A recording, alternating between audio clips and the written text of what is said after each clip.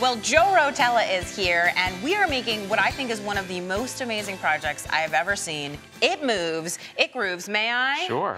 Uh, it flaps its wings and the little bug turns and this is the coolest thing ever. I, And I, Oh. I thought it was like a kit or something and you said, no, I made it from scratch. Made it from scratch. It's automata, and you know, automata dates back at least as far back as 1515. Leonardo da Vinci made a lion for King Louis XII that the lion walked, sits up on its hind legs, opens its chest, and shows the coat of arms to the king. The mechanisms are amazing. So cool. Ours so we're, is a little making, I was simpler. going to say, a slightly Little simpler, version of that. So we're using cams, which are really ovals, um, in order to change a circular motion into a reciprocating or a vertical motion. There are actually six types of mechanisms, cams, crankshafts, levers, gears, and pulleys. So we're gonna focus on cams today, um, sort of just like that vintage toy from the 40s. Cool. How are we going to get started? So let's start by building the framework. So I've already cut a piece of lumber to size. I've got to turn on the vacuum. I've got my glasses. Are you I gotta ready? say, I've got safety glasses, safety always, and obviously there's a safety on the saw too. There is.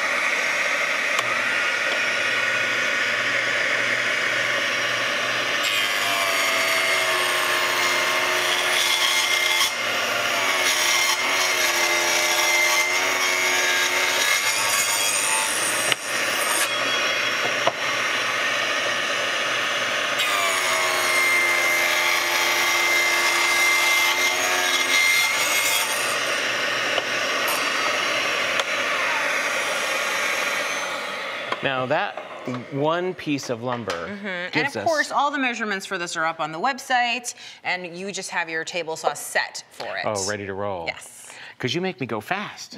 yes, I do. so this takes care of the top piece.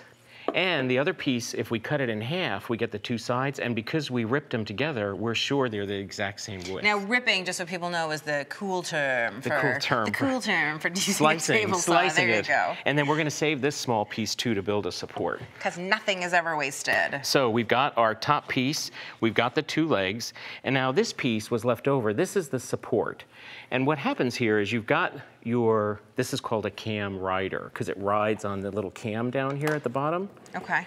If we just had a little hole here and a thin board, it's easy for this to go like this, and it'll slip. The ah. thicker that hole, the more that this will have to stay vertical. So it holds it nice and tight. So I'm going to use this to increase the size, the thickness of the support. Now, in a real project, we would glue this with wood glue.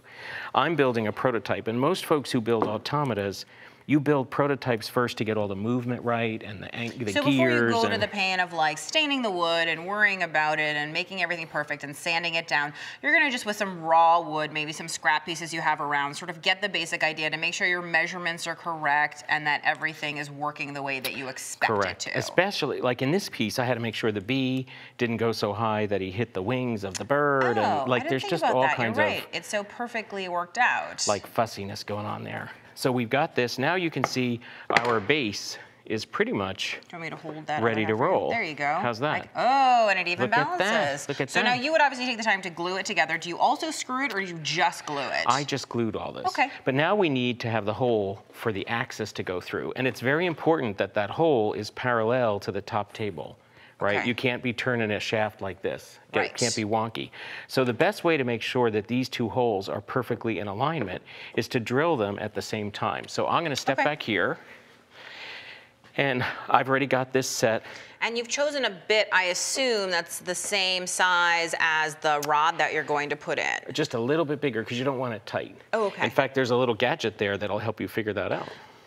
I see. So this is basically just a measuring tool that I can use to figure out which drill bit I want to use. It is my favorite tool and it's like a dollar. So, you know, I think that so often it's like the simplest tools that make the biggest difference to your success.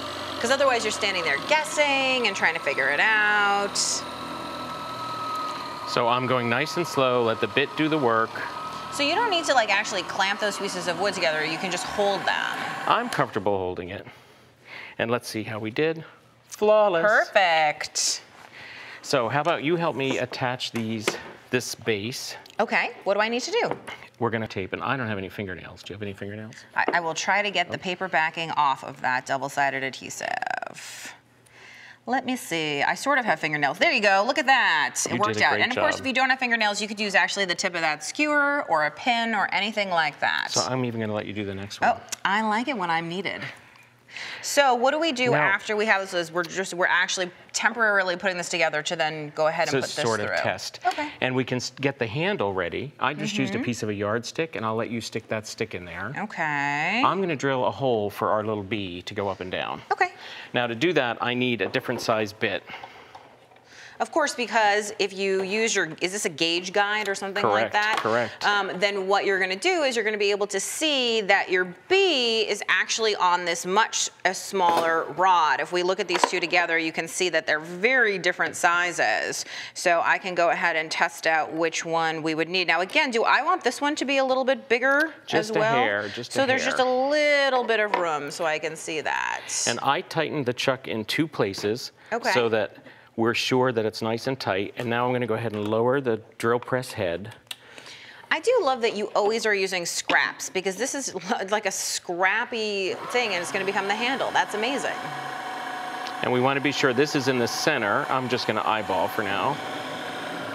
Because again, you- this is do our you prototype. eyeball when you are working or do you almost always mark things? Oh, I mark things. For this automata, it does have to be kind of precise.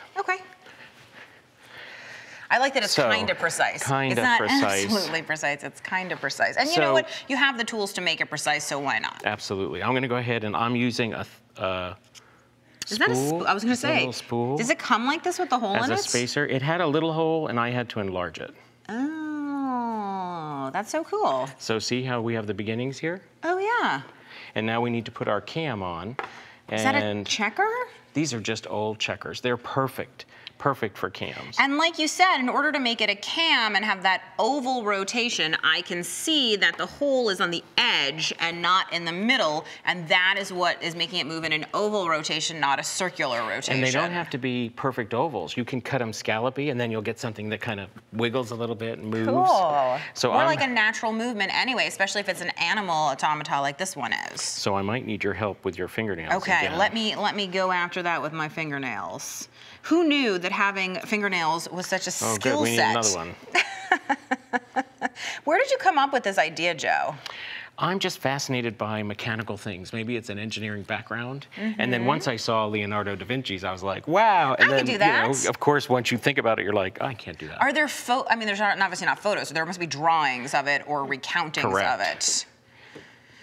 Now, someone has taken the original drawings and duplicated it. You can Really? find, yeah, you can find it, pictures of it, That is super cool, and it works and it moves and it works. That is so this is the tricky part. You don't want to Okay. glue this cam, you know, just by guessing. right. Um, so you're going to actually want to stick in your item and make sure it's lined up. We also need to get the length of this right. So all I need to do is hold this not so tight it won't move, but close, mark it, okay. And then this is an easy, easy, easy cut. You want to do this one for me? Okay. What do if I, I have can see the pencil. There we go. See you the go. I'm gonna pencil. turn it on, Turn and it you're on. gonna just and cut. I'm You just ready? gonna cut. Yep. You ready? I'm ready. You I'm sure? ready. I'm ready. I was born ready. Ooh, that Good was enough. way easier than I thought. That was easy. So let's put this back through. Let's Now, obviously, you're using one cam because we're doing a simplified version where in the one that you brought to show, you actually have three cams under there. Correct. But we get the idea of how to do this. Now, if you couldn't find a nice thick checker like that, I know that you said that we could use thinner checkers, you just have to glue them together. Yep. And if you do that, on the bottom of the cam rider, you probably want to put a bead or something because, whoops, if you glue three things together, it might get stuck Oh, in a might get groove. stuck in a groove. If you put a round bead, it's got a nice smooth surface. Good idea. So this would drop in here, and now I know where to glue that. So that if I know, obviously this is not It's gonna be together. loose, It's going to be loose. It's not going to. Oh, it's not going to turn because it's So loose. So let's I put see. a drop of glue. Okay, let's do it. So we're gonna see roughly where we want that glue. I'll let you hold him for a sec. Thank you.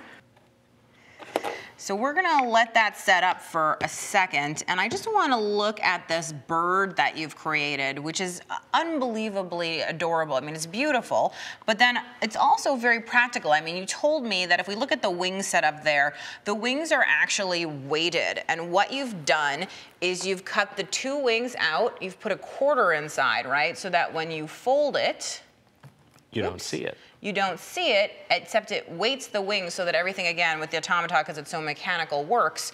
And then this is book cloth. It's book cloth. You could use metal hinges, but you have to be very precise where you're placing everything. The book cloth, try to pull it. It's actually incredibly Er, strong. it is. It's very strong. And it gives you a great hinge mechanism. And that is what the hinges here, where, you know, I think you you can see it in this one, it it's just tape, right? This is just masking tape temporarily holding it as Correct. an idea. And here are the finished wings, of course, when you do it, and it just looks amazing. And you would just simply add that to your bird. Now, let's get back to this cam. Let's see if it's dry. And the bug is moving. That's so awesome. I love this, Joe, and I want to try it. You made it so easy.